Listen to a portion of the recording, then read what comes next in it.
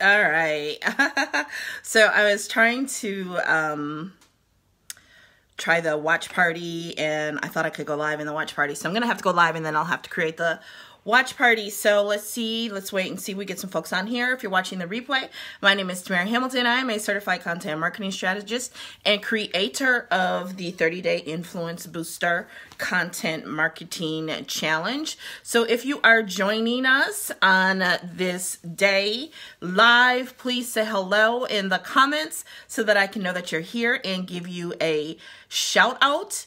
Um, would love to connect with you. It has been a while since I have come on here live. My bad. I know, I know. So, um, I wanted to come on really quickly and um, just give some of my observations because some of y'all hating on Bird Box big time in um, in the news feed. So if you have seen Bird Box, can you drop some sort of bird emoji below? If you have not, I don't know, put up a sad face emoji or a video or something.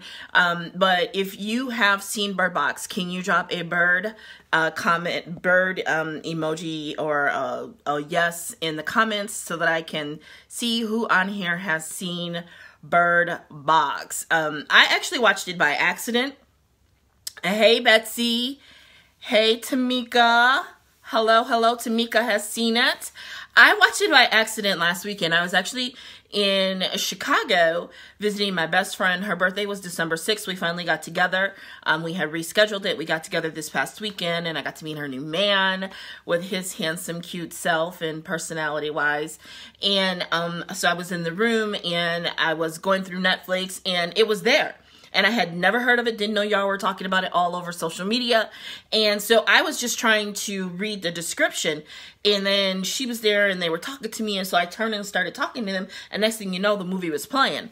And so I just continued to watch it and next thing you know I'm I'm scrolling the feed and everybody's talking about Bird Box.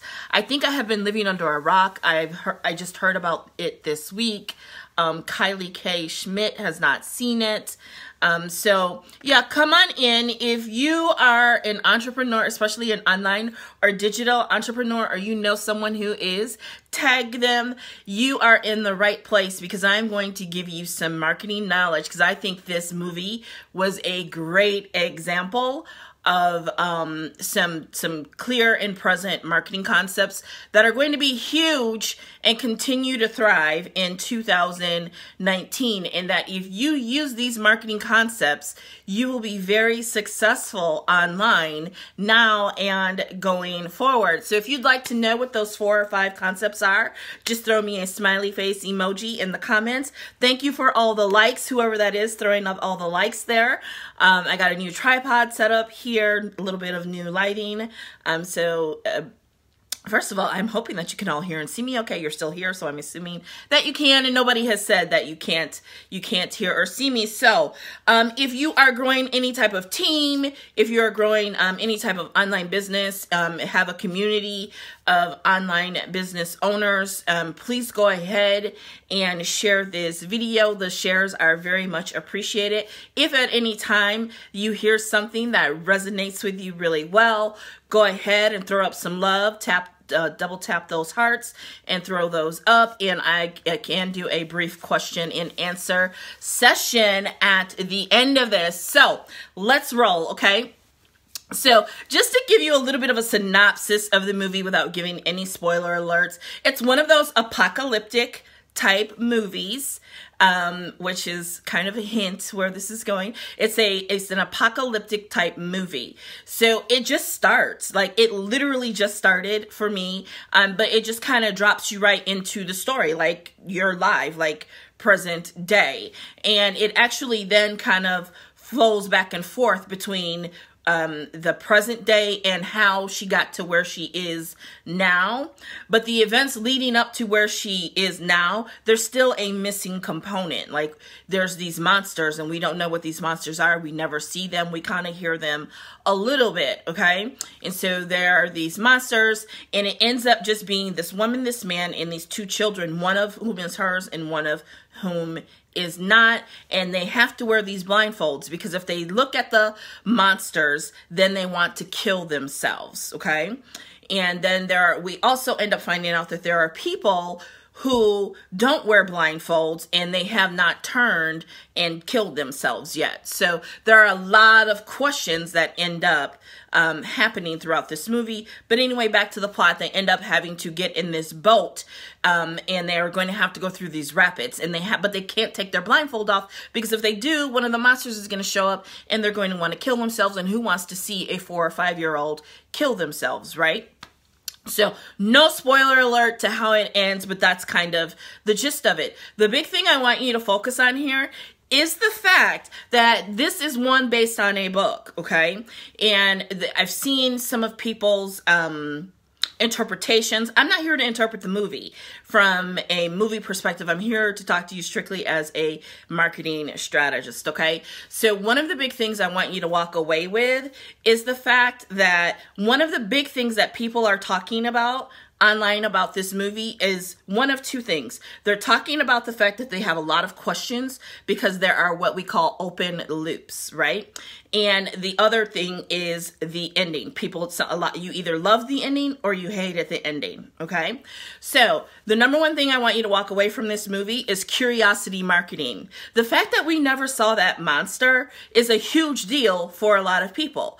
And that's why people are talking about it, is because they have this open loop which is point number two the Zeitger effect, the open loop. Okay, so let's go back and stick on point number one curiosity marketing. Are you with me? If you're with me, throw up a one in the comments. I need to know that you're with me. Okay, because a lot of my network are independent solopreneurs, and you may be partnered with a company. And I've seen your posts about well if y'all promoted y'all friends business the way you promoted um what you call it bird box the world would be a much happier place. Okay let me stop you boo boo. People are going to do what people do. It's human nature. And it's not your friend's fault that you haven't figured out human nature and how to incorporate that into your business okay? Because if you figured out how to incorporate curiosity marketing in your business then you wouldn't be having this conversation right? It's perfectly normal for people to want to talk about something that is still going on in their brain. The brain cannot complete because that loop is still open. We don't know what the monster was. We don't know what the monster looked like. So that is one of the number one reasons that people are talking about Bird Box is because the loop is still open. We don't know. And until we know that loop is going to be open and we're still going to keep going back and trying to close that loop. And so that's why people are coming on Facebook and talking about it because the loop is open and they want to know what other people think. Okay.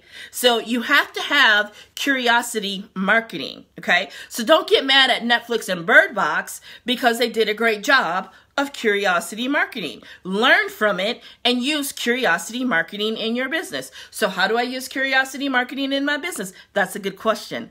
You ask good questions. I'm glad you asked that question. How do you use curiosity marketing in your business? Is stop giving all the information away right? I see y'all do it all the time. Even people who take my courses and do the challenge with me, we get so excited when somebody finally asks a question and then you answer the question right there in the comments. Everybody can see it. And now the loop is closed. They don't care anymore. They're on to the next stat. Leave the loop open and close the loop one on one in a personal conversation. Okay? Take it to the DM. It goes down in the DM. What? Where does it go down? In the DM. So, curiosity marketing is not listing every single thing that's on your face in the post. You just say, Oh my God, I love this new lipstick. What do you think? And then when people start saying, oh my God, that's beautiful, who's that by? You do not answer in the comments, you answer one on one. That's curiosity marketing. Curiosity marketing is not dropping your link in the comments, dropping your link all in people's inboxes. That's not curiosity marketing. That is lazy marketing. See, we think that because it's online that it's supposed to be easy. It might be easier in some respects, but it is still work. You still got to put in work, girl. You got to put in work. And part of that work is Curiosity. Remember that saying, curiosity killed the cat. Curiosity marketing is where it's at. Stop giving up all the information. Give them just enough to tease them and make them want to ask you so that you can have a conversation. Okay, so we're clear on point number one.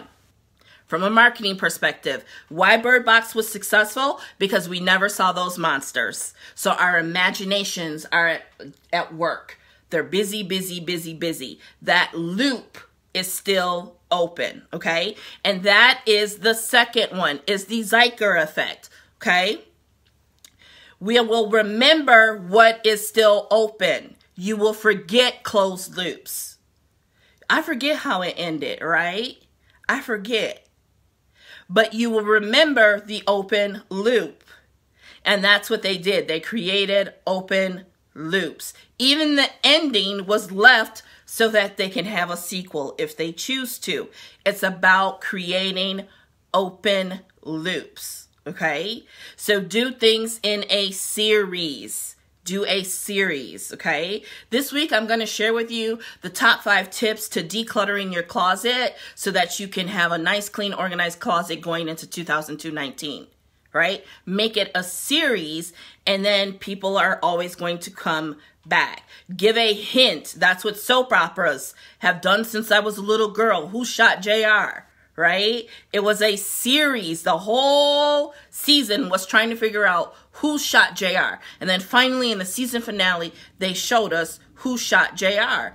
And even still to the to this day, the best marketers, the best TV shows will give you a snippet of what's to come in the next episode. Just enough to get you to come back and figure out what's happening because that curiosity is at play.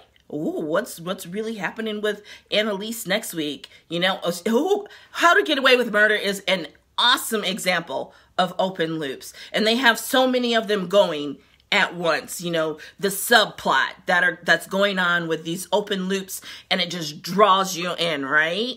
So the two the top two so far we talked about curiosity marketing and now we're talking about open loops. Those two kind of work together but they're strong enough that they needed to be two points on their own. And this third one is important Okay, so if you want to know the third one, drop a three in the comments. Drop a three in the comments because this is why your friends are talking about Bird Box and they're not talking about your business. And this is going to piss some people off. So you might not want to hear it. Hi, Elaine. So drop a three in the comments. Juvakia, I always say your name wrong, wants to know. Joe Lyons wants to know. Get a couple more people who want to know this one. This one is going to piss some people off. Okay. Elaine wants to know. Elaine wants to know. Put on some fresh hair for y'all today. Did a little bit of face, lips. Huh, even got on a new shirt. I got dressed for y'all today. I actually have on real pants, not pajama pants, and some fuzzy socks and my um my slippers. All right, so three. All right, so here's the deal. You think you are entitled to your friend to promote your business. First of all, it's not your friend's responsibility to promote your business, okay? You have to earn the right for your friend. Wow, I just went in for it. I didn't even, I mean, straight, no chaser, no lube. I'm just going straight in. I'm sorry. Well, we're here, so let's keep rolling, right?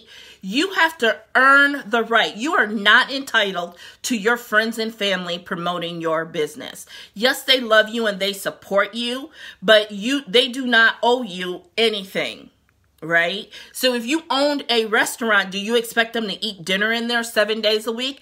Absolutely not. Okay? This is a free society. They can talk about and promote whatever it is that they want. The reasons why they are not promoting you are a few, okay? Number one is all you talk about is the product. All you talk about is the company. All you talk about is people that they don't even know or care anything about. And so they see no value in what you're talking about. There's no nothing that's going to catch their attention like Bird Box got everybody's attention.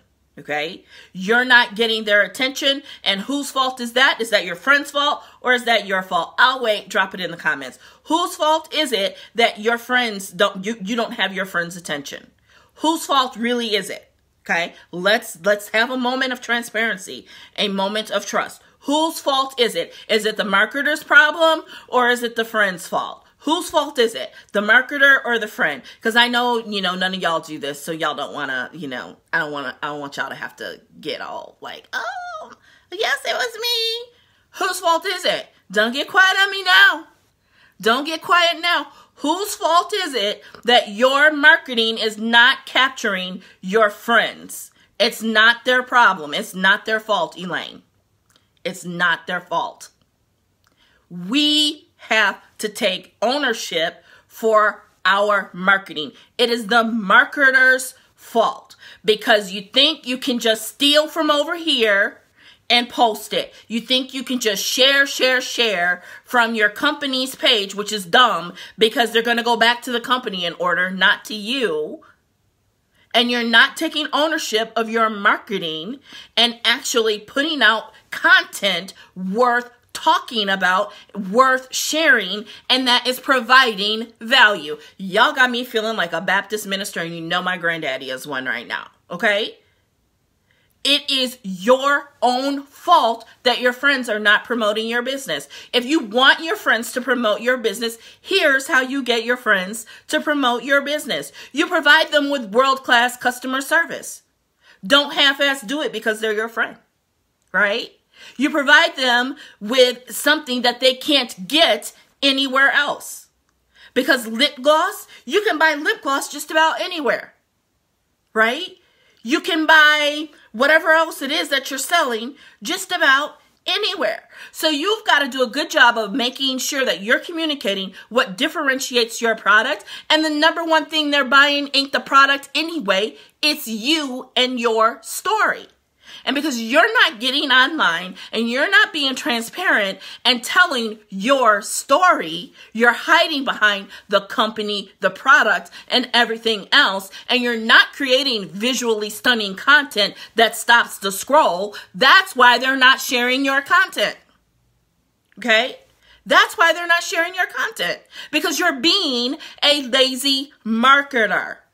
Okay? And I don't care if you're doing lives, if you're not going live and talking about something worth talking about, then that's why they're not sharing your content. If you're not providing value, if you're not educating, if you're not inspiring, that's why they're not sharing your content. Okay? So you have to first take ownership as a marketer of your marketing and say, my marketing is going to knock everybody else on there, but because I'm the best marketer there is out there. I'm going to kill everybody else with customer service. I'm going to give them an experience. So instead of dropping a link in the comments, I'm going to give them an experience by one, performing a consultation to make sure that they're getting exactly what they need and nothing more, nothing less and I'm going to service them to death and they're going to keep coming back to me because of the level of service that I provide.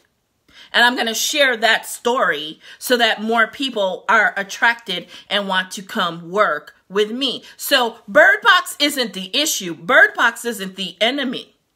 Bird Box did just that. They provided you with enough curiosity to get you talking they also left that loop open to get you talking, and now word of mouth is in play.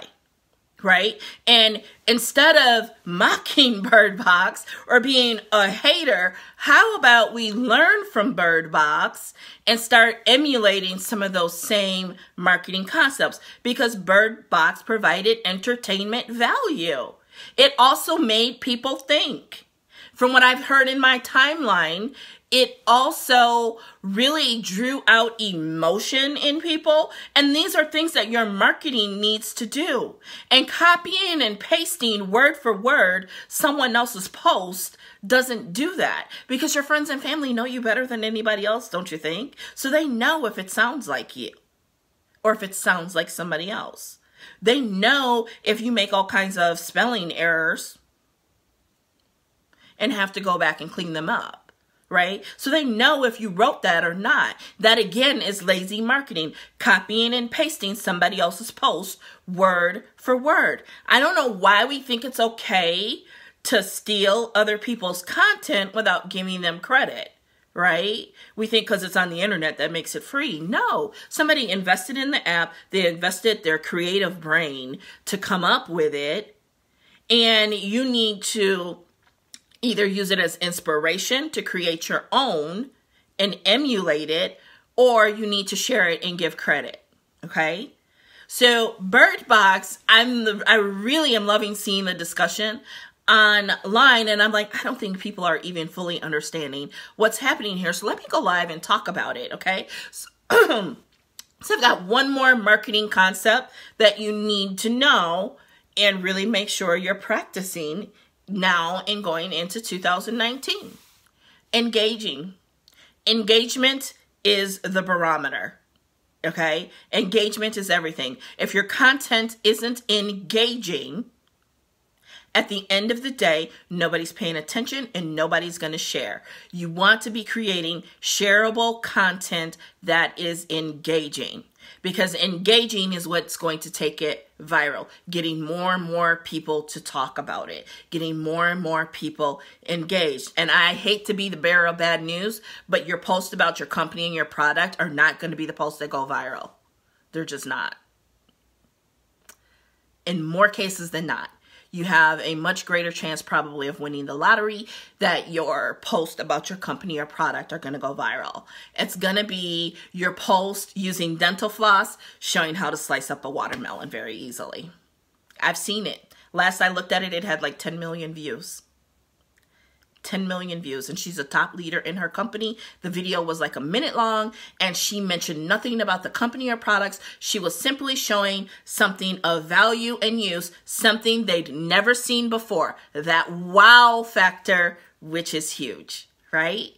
So let's recap. You've got to generate curiosity. You've got to create open loops. You've got to create shareable content that is of value Uh, that by educating, inspiring, or engaging or edifying other people and engaging content. Okay. So that's what Bird Box did correctly. And instead of being bitter, because that's what we sound like when we say, because I'm not going to support you if that's your response.